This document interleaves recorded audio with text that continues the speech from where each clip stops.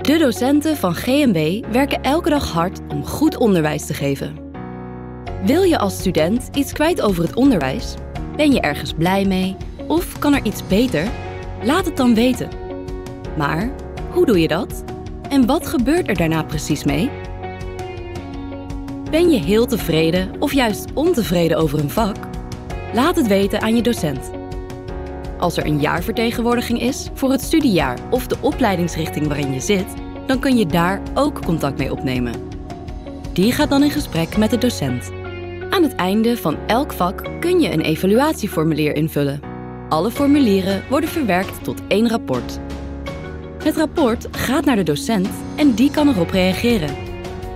Het rapport, met de reactie van de docent, gaat naar de opleidingscommissie en naar de studenten die het vak gevolgd hebben. De opleidingscommissie kijkt of er actie nodig is. De docent gebruikt de feedback voor het verbeteren van het vak voor het volgende studiejaar. Zo kun je als student bijdragen aan de kwaliteit van het onderwijs.